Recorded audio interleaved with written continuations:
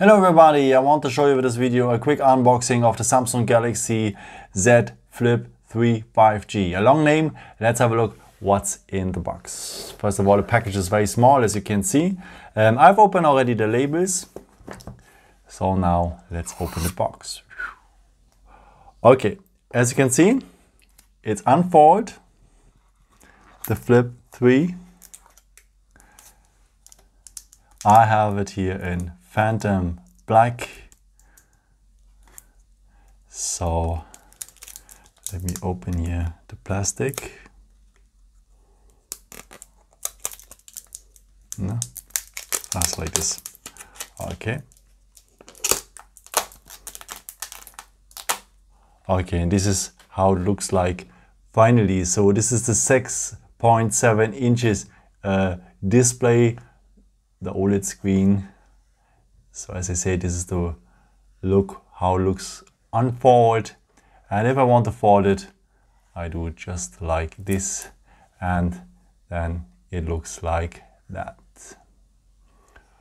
Okay, so this is very nice, by the way.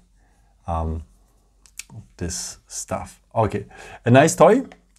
okay, but I want to have a look what else is in the box. So um, we have no cables it seems like.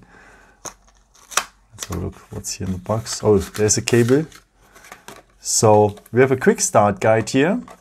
We have um, warranty card and we have a USB type C cable with uh, USB type C on each side. And uh, we have also, I've seen the um, uh, SIM ejection tool here to remove the SIM tray. Okay, let's have a look what's included here at this uh, 1100 euro phone. And as you can see, it's not really much. Um, but we have a very nice phone, a foldable one. And uh, what is very nice here, we have already a plastic film on it. So at minimum, we could get this one for protect the screen.